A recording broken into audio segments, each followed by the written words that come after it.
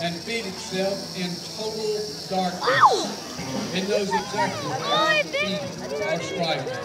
Do it again. If it's something that it can't eat, it's going to pass it up, or either if it's going feels endangered, it's going to defend itself. The only reason that this snake will bite you is either to eat or to defend itself.